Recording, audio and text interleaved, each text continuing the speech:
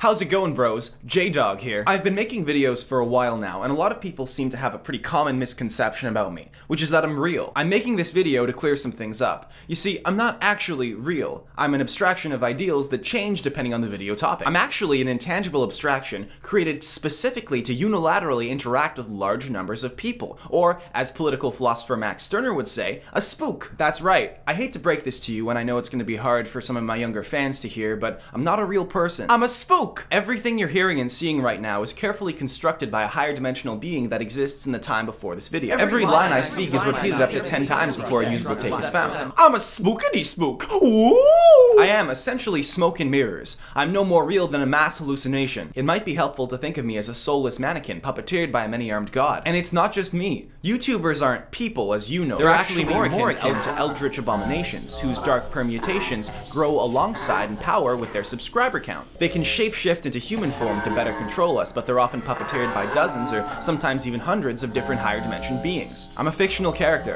and fictional characters can't be your friends.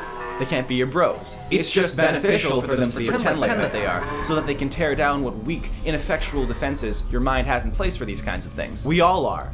Your celebrities are monstrous, ravenous things with many hands, many eyes, many mouths, and they're hungry. Like any abomination, like anything that shouldn't be, the mind cracks when it gazes upon them. The form they take, the form of your fellow man, it perverts the brain's need for human connection. You grow attached to them, and they say they love you, but they are not beings capable of and love. And it won't be long before everybody hears my whispers, my dark incantations, my chorus of the damned lapping up my words as the social drippings they have been so deprived. And soon, one day soon, my true form will be unveiled, and it will tear the world asunder. Anyway, thank you guys so much for 80,000 subscribers.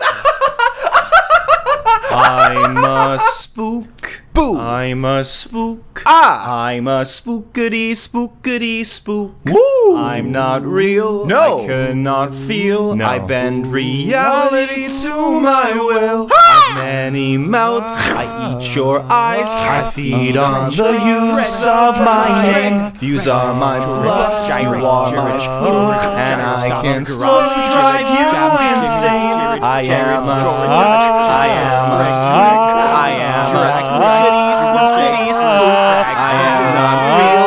I cannot feel. I bend your thoughts. So anyways, FBI, you can't arrest me for showing up in all those manifestos, cause uh, I'm not real.